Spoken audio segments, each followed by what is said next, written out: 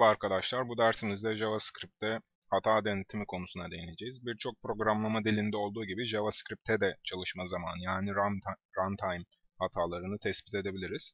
İlk olarak try-catch hata yakalama bloklarıyla başlıyorum. Algoritması bu şekildedir arkadaşlar. Hata olmasını düşündüğümüz kodları try alanına, hata yakalandığında çalışacak kodları ise catch alanına yazıyoruz. Şimdi basit bir örnek yapalım. Try diyorum arkadaşlar. Sadece tab yaptım.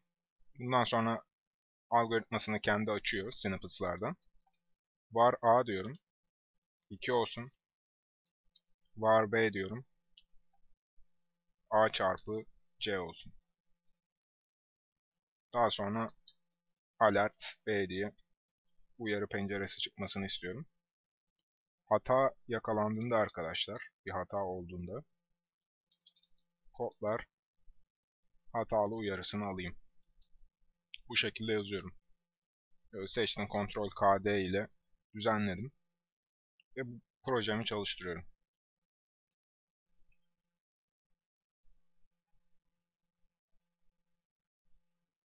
Gördüğünüz gibi kodlar hatalı diyor. Niye? Çünkü C'yi tanımlamadık arkadaşlar. C'yi tanımlamadığımız için bize hata verdi. Bunu şu şekilde değiştirebilirim cache'deki hata değişkenimi mesaj özelliğiyle yazdırabilirim. Bu şekilde bize hatanın sebebini söyleyecek. C is not defined diyor. Yani C tanımlanmadı anlamında. Şimdi try catch finally bloklarına bakalım. Algoritması bu şekilde. Try catch'ten tek farkı finally alanının olması. Finally ise hatalı olsun ya da olmasın çalışacak kodları barındırıyor. Yine aynı örnekten gidelim. Daha sonra final yazıyorum. Kodlarım hatalı olsa da bu yazıyı yazdıracağım yazıyorum. Bu şekilde arkadaşlar. Tekrar çalıştırıyorum. İs not defined. Tıklıyorum ve hatalı olsun ya da olmasın çalışacak kodlarım çalışıyor kodlarım hatalı olsa da bu yazıyı yazdıracağım yazısını görüyorsunuz. Şimdi throw deyimi var arkadaşlar. Biraz da ondan bahsedelim. Bu deyim sadece try bloğu içinde içine yazılır. Şekilde gördüğünüz gibi bir algoritması var. Try bloğunda istisnai bir hatayı yakalamak için kullanılır. Eğer hata yakalanırsa altındaki kodlar çalışmaz. Hemen bir örnek yapalım. Burayı sildim try yazdım. Tab yaptım. Ondan sonra var eşit var eşittir var a eşittir prompt diyorum. Kullanıcıdan veri girişi alıyoruz arkadaşlar. İlk sayı diyorum. Veri girişinin bildirimi bir olsun. Kullanıcının alacak veri de bu boş alanda yazılacak. Yani tırnak işaretleri içinde olacak. Prompt diyorum. İkinci sayı diyorum. Yine tırnak işaretlerimi koydum. Daha sonra if is none, not a number demek. Numara mı değil mi yani? Sayı mı değil mi? Ona bakacağız. A veya is none B diyorum.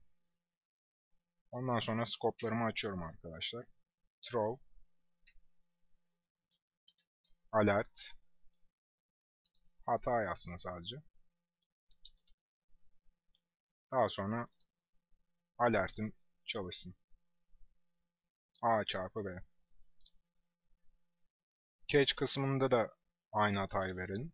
Alert e, message ve finally'yi de ekledim arkadaşlar. Finally alert çarpsa da çarpmasa da bunu yazdırırım diyorum.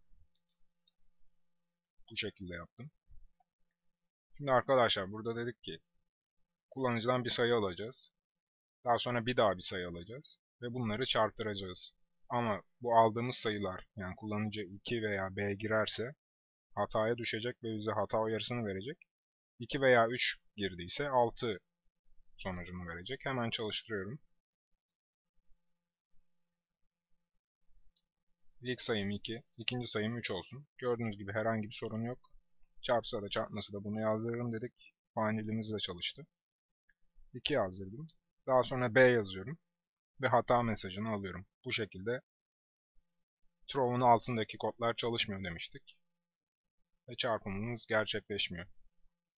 Hata denetimi bu şekilde arkadaşlar. Oldukça kolaydır. Ve güzeldir yani programlama dilinde kodlarınızı yazarken hata ayıklama işlemi yapabilirsiniz. Bu derslik bu kadar arkadaşlar. Kendinize iyi bakın.